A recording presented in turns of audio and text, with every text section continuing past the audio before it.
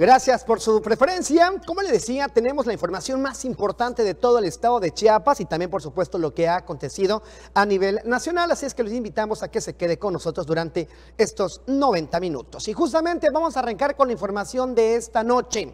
Vamos con las noticias. El pasado 1 de agosto, padre e hijo fueron levantados de un taller mecánico del barrio Niño de Atocha, de acá, de la capital del estado. Han pasado cinco días y no se sabe nada de ellos. Hoy por la tarde marcharon familiares y amigos para exigir a las autoridades que aparezcan con vida.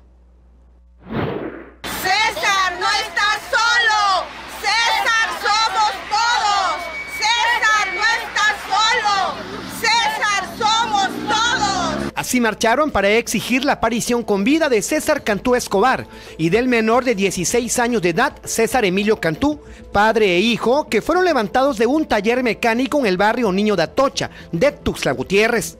No tenemos ningún indicio por qué. Mi esposo es una persona trabajadora, trabaja todos los días. Mi hijo tiene 16 años. No le puedo haber hecho ningún mal a esta sociedad para que se lo llevaran y mi esposo no tiene ningún problema con nadie. Yo estoy segura que esto es una equivocación. Y a las personas que lo tienen, yo les ruego con el corazón en la mano que me los regresen vivos. Porque así se los llevaron. Y ellos no tenían problema con nadie. Mi niño tiene solo 16 años. La marcha protesta partió desde el Parque Chiapasionate al oriente de la capital del estado, donde se congregaron familiares y amigos que con lonas y pancartas exigen a las autoridades la búsqueda de ambos. Salió a trabajar normal como todos los días. Mi hijo se fue a un curso de verano, salió del curso y se fue al taller. Mi hijo regresaba después y mi marido después porque porque así lo habíamos decidido y y porque no le tenemos miedo a nada, no le debemos a nadie, no tenemos ningún problema. Y no nos explicamos hasta ahorita por qué se los llevaron. Estaba hablando por teléfono con mi esposo y de repente me cortó la llamada y ya no, le marqué y le marqué porque, porque ya no me contestaba y, y, ya no me contestó y yo entré, yo en ese momento esperando que él me regresara la llamada, me metí a Facebook y en ese momento me apareció un video donde decía que precisamente alumbraba el Oxxo y, y la calle del taller. Yo le mandé el video para que él lo viera. Obviamente, si él estaba ahí ya, lo, ya sabía de ese levantón. Mas nunca me imaginé que era mi esposo y mi hijo a los que se habían llevado.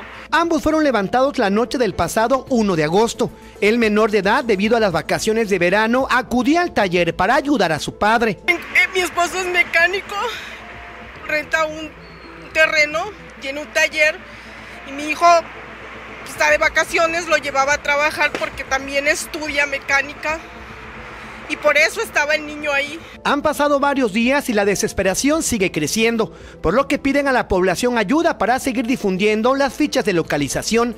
Están en constante colaboración con la Fiscalía General del Estado, pero hasta el momento no hay avances. Lo único que pido es que aparezcan, que hagan justicia y pues ahora sí que, pues que salgan, pues que lo liberen más que nada.